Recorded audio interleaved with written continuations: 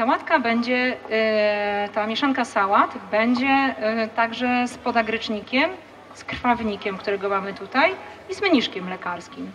E, Za chwilę będziemy po kolei opowiadać o tych wszystkich e, roślinach, ale ktoś by, jak ktoś by chciał, to może już sobie na początek spróbować.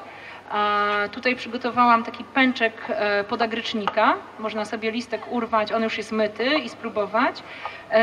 Tak samo można sobie spróbować listek krwawnika, który tutaj jest można sobie, uchradajcie sobie, tak, spróbujcie.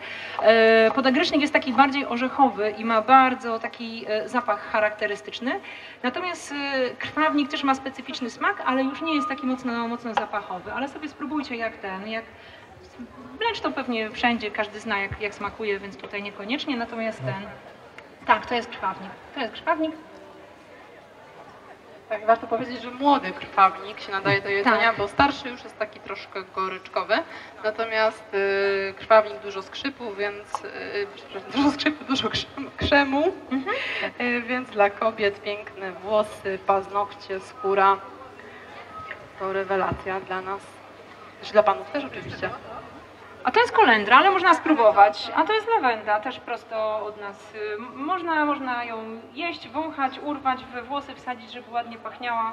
Lawenda jest właściwie tutaj dla, dla ozdoby, ale teraz już powoli pojawiają się pęczki, więc możecie sobie ją też postawić y, w sypialni.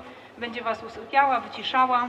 Więc jeżeli ktoś chce zasnąć, to jak najbardziej pęczek lawendy. Można sobie też włożyć trochę lawendy do, do poduszki.